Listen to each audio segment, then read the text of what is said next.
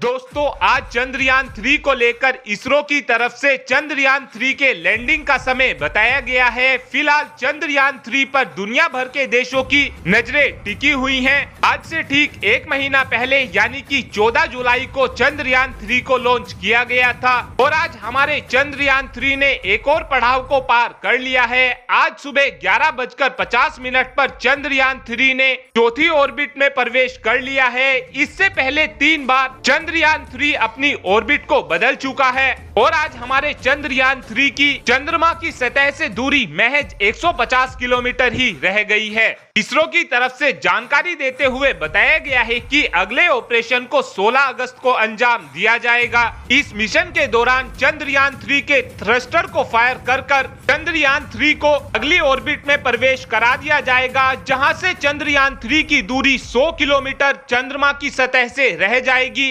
सत्रह अगस्त को भी एक और मिशन को अंजाम दिया जाएगा। सत्रह अगस्त के मिशन के दौरान चंद्रयान थ्री के प्रोपल्शन मॉड्यूल को टेंडर से अलग किया जाएगा और फिर तेईस अगस्त को शाम पाँच बजकर तीस मिनट पर हमारा लैंडर चाँद की सतह पर लैंडिंग करेगा। आपको बता दें कि 5 अगस्त को हमारा चंद्रयान थ्री चंद्रमा की ऑर्बिट में पहुँचा था, जिस दौरान चंद्रयान थ्री की तरफ़ से कुछ फ़ोटो भी क्लिक की गई थी और इन इमेज में साफ़ साफ़ चंद्रमा की सतह पर कई क्रिएटर्स दिख रहे थे।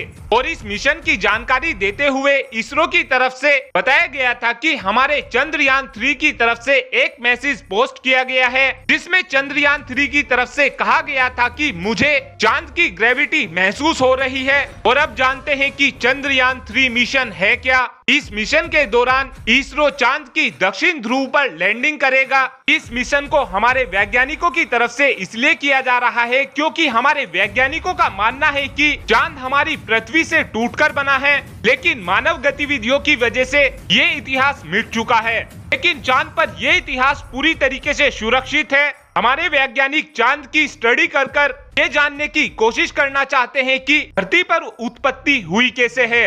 लेकिन अब सवाल ये भी आता है कि इस मिशन का हमें क्या फ़ायदा होगा? इस मिशन के दौरान इसरो दुनिया भर के देशों को ये दिखाना चाहता है कि हमारे पास भी चाँद पर सॉफ्ट लैंडिंग करने की कैपेबिलिटी मौजूद है। और अगर भारत की सफल लैंडिंग हो जाती है तो भारत दुनिया का ऐसा चौथा देश बन जाएगा जिसने चाँद पर सॉफ्ट लैंडिंग की हो।